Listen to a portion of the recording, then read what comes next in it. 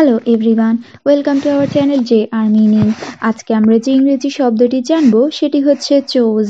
এর বাংলা অর্থগুলি হচ্ছে বেছে নেওয়া, নির্বাচন করা, পছন্দ করা। নিচের দুইটি উদাহরণ দেওয়া হলো। প্রথম উদাহরণটি হচ্ছে she chose the red dress for the party আমি আবার বলছি she chose the red dress for the party এর বাংলা অর্থটি হচ্ছে, সে পার্টির জন্য লাল পোশাক বেছে নিয়েছে। দ্বিতীয় উদাহরণটি হচ্ছে he chose to stay silent আমি আবারও বলছি he chose to stay silent এর বাংলা অর্থটি হচ্ছে সে চুপ থাকার সিদ্ধান্ত নিয়েছে, ধন্যবাদ।